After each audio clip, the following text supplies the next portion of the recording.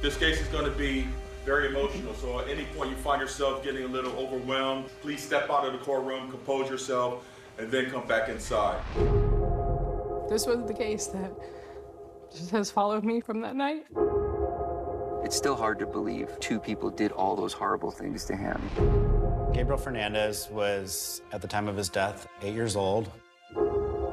That was my friend, and it really caught me because it was his parent who took his life. He was a very good kid, very playful, loving.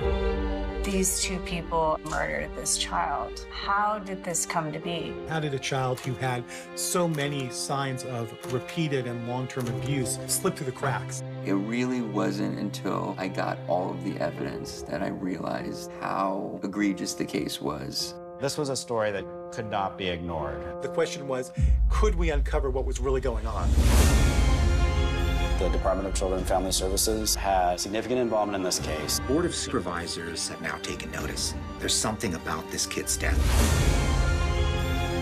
There was no medical follow-up, even to the injuries that were acknowledged by the department. You're thinking about in your head, how could this be true?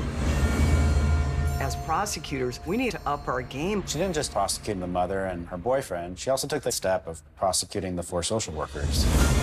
They had a job, and their job was to save the little boy. The system is overtaxed. The most children I had was about 280. I did not commit a crime.